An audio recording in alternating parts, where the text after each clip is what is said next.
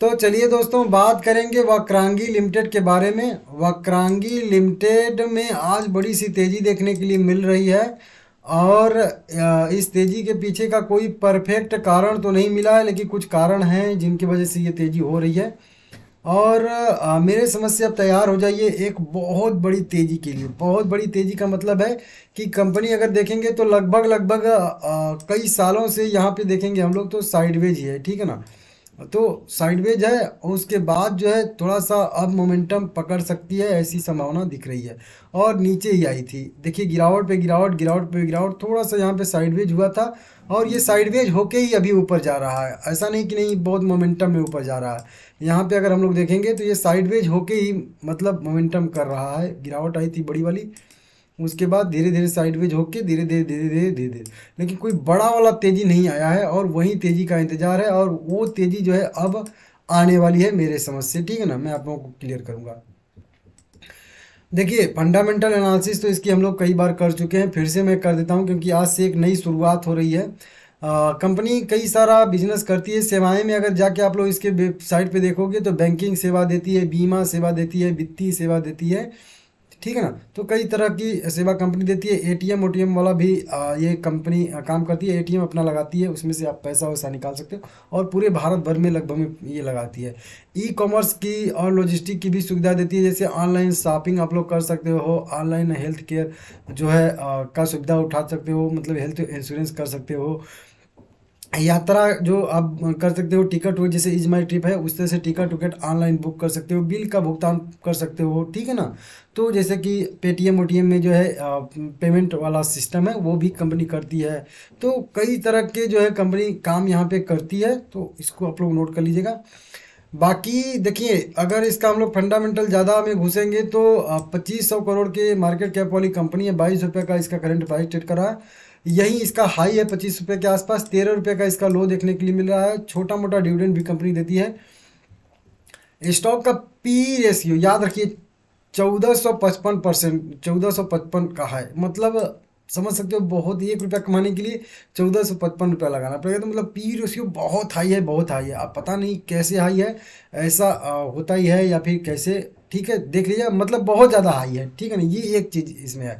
बाकी book value तो चलिए ठीक है, एक रुपये तेरह पैसे है। आरओसी थोड़ा सा कम है, ढाई परसेंट का आर तो एकदम एक परसेंट से भी नीचे है, एक रुपया इसका फेस वैल्यू है। अर्निंग पर शेयर दो पैसा है। डेट की बात करेंगे तो तिरपन करोड़ का डेट है, तेरह करोड़ का रिज़र्व है। एफ़ आई आई इसमें थोड़ी सी अपनी होल्डिंग घटाए हैं, आधे परसेंट के आसपास प्रमोटर की होल्डिंग बयालीस, साढ़े बयालीस परसेंट है।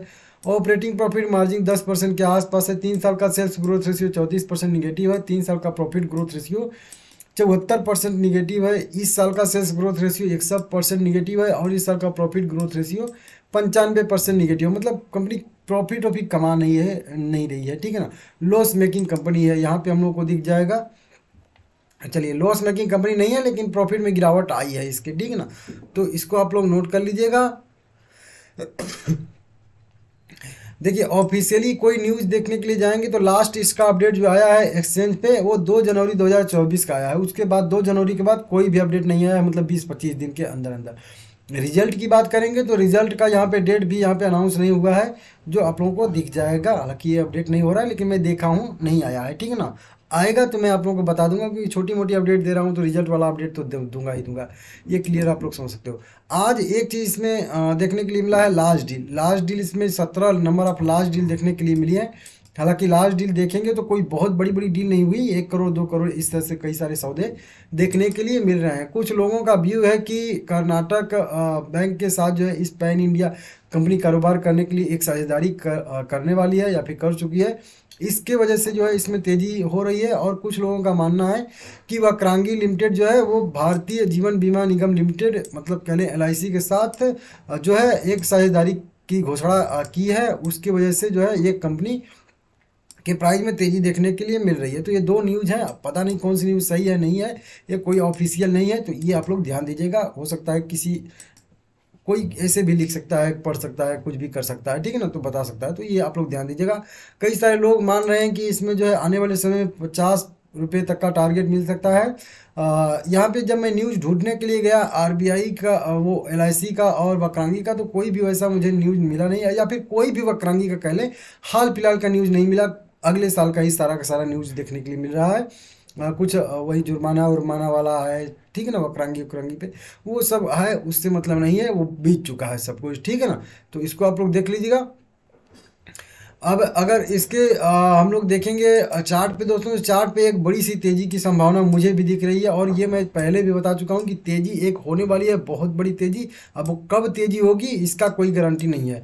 तो देखिए, इसमें पैंतीस रुपये के टारगेट के लिए ख़रीदारी करना है और ये पैंतीस रुपये का टारगेट बहुत परफेक्ट टारगेट मैं दे रहा हूँ। अब जब भी आप खरीदारी करिएगा, पैंतीस रुपये के टारगेट के लिए ही खरीदेगा ऐसा नहीं कि दो, चार, पाँच रुपये के लिए जाओ और पचास रुपये दस रुपये बीस रुपये गवा के आओ। ऐसा नहीं करना है आप लोगों को, ठीक है ना? कि ऐसा नहीं कि पच्चीस रुपये के टारगेट के लिए जाओ, सत्ताईस रुपये के टारगेट के लिए जाओ छः रुपये सात रुपये के लिए, और फिर पंद्रह रुपये और उसके नीचे का स्टॉप लॉस फॉलो कर लो मतलब उससे ज़्यादा। तो ऐसा नहीं करना है।